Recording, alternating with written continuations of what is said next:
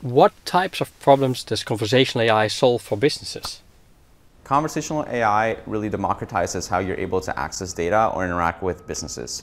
Uh, there's multiple, again, use cases. So in the customer service automation use case, you can use conversational AI to really understand what a user is requesting right off the bat without having the user going through multiple steps to qualify what they're looking for. You can bring the conversation and the information to them in a more user-friendly way. Um, within analytics, for example, conversational AI can, can be valuable by providing the answers that a user is looking for right off the bat without having the, have the user use a more technical um, way of querying that data.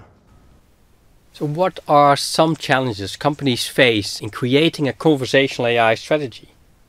There are a series of common challenges that conversational AI um, really brings to the table when trying to integrate. For example, one is really integrating with existing systems that you might already be using. So making sure that you have the APIs that you need to be able to integrate conversational AI is essential. Second, it's actually designing the conversations. It's something that, that really requires a lot of uh, work to be able to implement and automate the, the transactions and the conversations that you're trying to achieve.